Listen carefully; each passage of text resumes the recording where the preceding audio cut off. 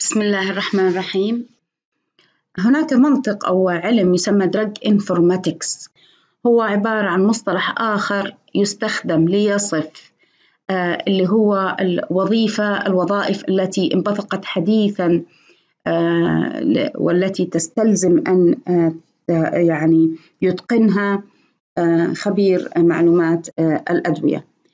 Drug Informatics عادة تركز على استخدام التقنية كجزء مدمج أو كأداة مدمجة في تنظيم وتحليل ومعالجة معلومات الأدوية.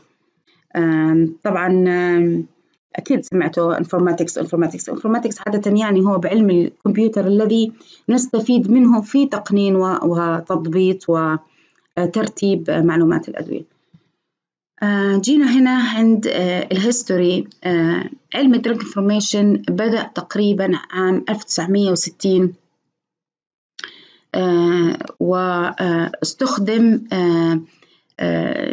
يعني كلمة استخدم به كثيرا كلمة drug information center و specialist طبعا مين بدأ هذا العلم؟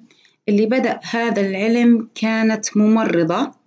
في آه، جامعة كنتاكي في المركز الطبي حق جامعة كنتاكي كانت هذه الممرضة تلاحظ إنه كثير من الأطباء آه، يزورهم مندوبين الشركات ومندوبين الشركات يقعدوا يقولوا لهم كلام يطلع المندوب من عند الطبيب وتتفاجأ الممرضة. هي كانت على ال station حقتها قاعدة برا. أنتوا عارفين كيف ال station حقت الممرضات يعني هي تكون دائما في الجناح. فكانت تتفاجأ إنه والله الطبيب بس طلع عند المندوب قام كتب دواء مغاير للدواء الموجود عندهم في الفورمولاري لكن الدواء له نفس الفعالية وأغلى فكانت إيش تسوي؟ تتصل في الطبيب وتقول له معلش دكتور إحنا we have the same medication why you changed يعني ليش آه، كتبت هذا الجديد؟ بعض الأطباء كالعادة كان يقول لها يعني this is none of your business and you're still a nurse بعضها كان يستحي ويقول آه والله صح كلامك مضبوط لكن آه، أنا اقتنعت وأبغى أجرب هذا العلاج. يعني يا إما يقنعها يا إما تقنعه. بعض الأطباء كان لا يرجع عن كلامه يقول كلامك مضبوط ويرجع لل old practice المهم هي استمرت على هذا الوضع. إنها دائما تتصل في الدكاترة. طبعا هي ممرضة استحضروا هذه الكلمة. تتصل في الدكاترة لما تلاحظ practice غير مضبوط. طبعا صارت الدكاترة مع الأيام في بالهم إنه في ممرضة تهتم بعلم الأدوية. دائما تتصل فينا وتقول لنا آه، هذا ليش كتبته هذا ليش ما كتبته. فهو كانت طبيعة الدكاترة هو بنفسه يبحث عن معلومة لكن كانت مع ازدحام العيادات. إذا احتاج بعض الدكاترة شيء يتصلوا في هذه المرضى ويسألوها. شوي شوي بدأ صيتها ينشهر خارج كنتاكي نفسها. آه، وصل لحتى إلى آه، ولايات عديدة في في أمريكا.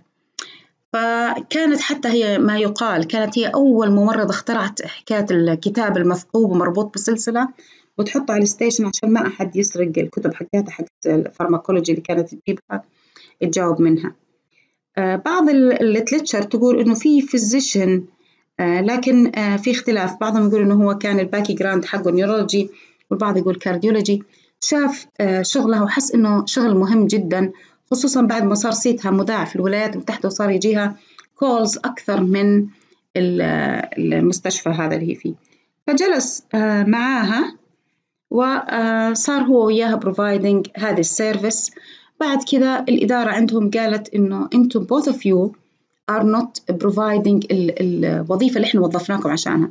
عشان كذا مالكم salary فقرروا إنهم يقنعوا الإدارة بأهمية العمل اللي هم يسووه عشان آه، ياخذوا طبعا ال salary حقهم عشان يوروا أهمية ال service اللي هم يسووها. فاضطروا طبعا يكلموا الإدارة. لكن قبل ما يكلموا الإدارة قالوا إحنا لازم نكلم الإدارة بشيء هي تتفهمه لأنه دائما المدراء نادر ما يكون أحد عندهم خلفية طبية.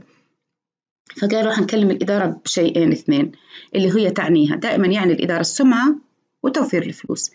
فقالوا حنقول للإدارة إنه إحنا لما نعطي النصيحة أو المشورة الدوائية الصحيحة للطبيب آه وبذلك إحنا نحصل على سمعة جيدة جدا إنه الطبيب من أول مرة يعالج المريض صح لأنه هذه حياة مريض ما عندنا مجال والله نجرب هذا ونجرب هذا هذا صلح هذا ما صلح ما يصلح. فيعالج المريض صح وبعدين آه، كذا المريض حيقعد فترة أقصر في المستشفى ما حيتعرض لمضاعفات أخطاء الأدوية ما حنضطر نشتري أدوية ثانية غالية ونصرفها على المريض لأنه أخطأنا معه في الأول وحنعالج الخطأ. ما حنضطر نقعده في المستشفى فترة طويلة ويخدموه ممرضات ويحجز سرير و كل هذه تكلفة على المستشفى. والشيء الثاني لما نتقن خدمة المريض من أول مرة صح بتصير سمعتنا كويسة سمعة المستشفى كويسة. فاقتنعت الإدارة فيهم وبعدين قالت لهم اكتب بروبوزل إيش اللي أنتم تبغوه ومن كذا بدأوا. طبعا أثناء عمل هذه الممرضة لاحظت إنه في قسم الأطفال دائما تجي منه أسئلة كثيرة. فقامت مسكت صيدلاني وهذا كان أول صيدلاني يباشر العمل ك drug information pharmacist مسكت أول صي... مسكت صيدلاني وطلبت منه إنه يصير معظم وقته قاعد في هذا ال department من كثر الأسئلة اللي توصل منهم. فمن هنا بدأ علم ال clinical pharmacy لما بدأ الصيدلي participate ال physician at their area في ال ward ويشوفوا إيش المشاكل اللي تحصل عندهم. فلذلك آه، دائما نلاقي في معظم الأماكن المتخصصة ال drug information center ما يكون تحت ال clinical pharmacy حتى ال clinical pharmacy تكون تابعة لل drug information center لأن drug information center يعتبر generalized clinical pharmacy service بينما طبعا ال clinical pharmacist ما شاء الله كل واحد يكون متخصص ب area معينة بشكل دقيق جدا آه وهكذا لما drug information pharmacist يضطر يطلع إجازة وما في أحد يغطيه usually they assign one of those clinical pharmacists to cover the drug information pharmacist. Uh, فهذا هو اللي قلنا عن clinical pharmacy concept the development of drug information center and drug information specialist was the beginning of clinical pharmacy concept يعني أول شيء بدأ drug information بعدين جاء clinical pharmacy concept عادة نلاقي الهوسبيتال pharmacist تنقسم وظائفهم ثلاث أشياء يا إما dispensing و compounding مثل ذكرناه اللي هو providing product يا إما clinical pharmacist who provide service يا إما drug information pharmacist as we discussed طبعا the mission of hospital pharmacist is to help people make the best use of medication صح؟ يعني إحنا الهدف من الصيادلة في كل أنحاء العالم إنه يخلي الناس يستفيدوا أحسن استفادة من الأدوية ويقللوا ضرر تعرض الأدوية. عادة هذا ال chart اللي يكون فيه توزيع آه، أقسام الصيدلية زي ما إحنا شايفين ال hospital pharmacy بعدين حنلاقي ال clinical pharmacy unit وال drug information center unit كل واحد لوحده. أحيانا بيكون ال clinical pharmacy unit تحت drug information وأحيانا بيكون separated لوحده. طيب uh, importance of developing drug information center and specialist. طبعا صار الحين مهم في كل organization يكون في drug information center. ليش؟ لأن إحنا صرنا عارفين إنه علم الأدوية ومعلومات الأدوية صارت كثيرة and معقدة و and complex fast and complex. وبسرعة تزيد آه، معلومات الأدوية. كل يوم نلاقي جورنال جديد طلع كتاب جديد طلع. مستحيل واحد مهما فرغ نفسه يستطيع إنه يلحق ركبها ويقرأها كلها مرة واحدة. وال وال وأصبحت تزداد بشكل آه، معقد أيضا. كل يوم نلاقي طريقة أخرى طريقة جديدة في استطلاع المعلومة في قراءتها في البحث فيها في استنباطها في تكوينها كل هذه الأشياء.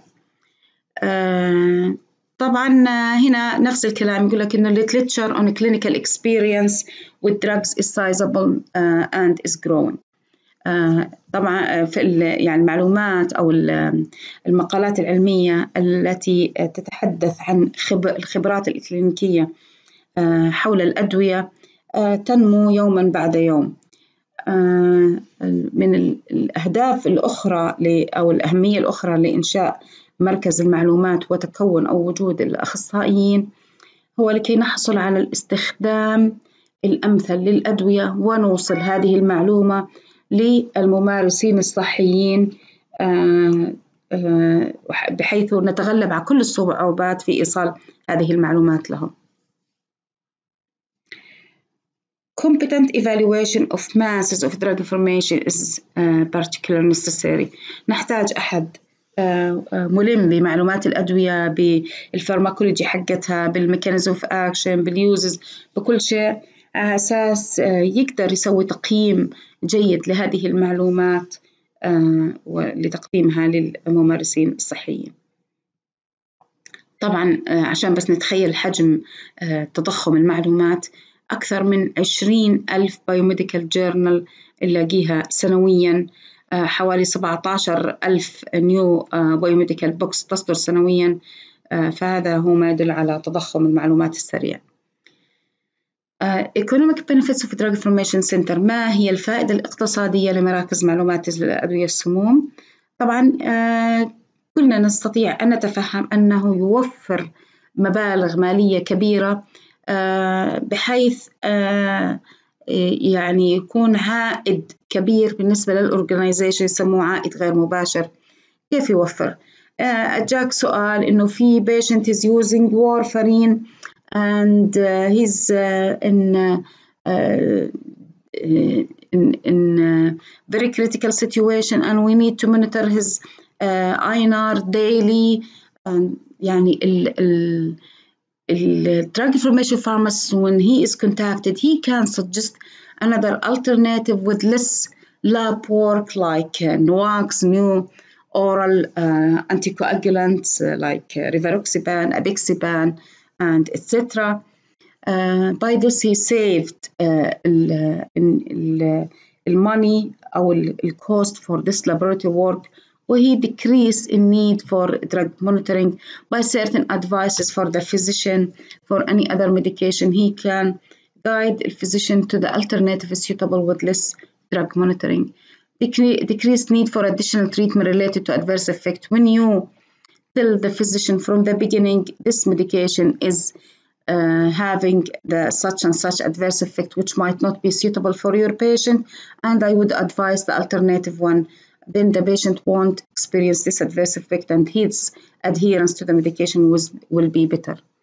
Decreased need for unnecessary hospital stay. Uh, some medication, when you uh, see the, the physician is prescribing IV medication and when you review the case, you can advise the physician that the patient can take the medication as oral and he can be switched from IV to oral and you can discharge him home.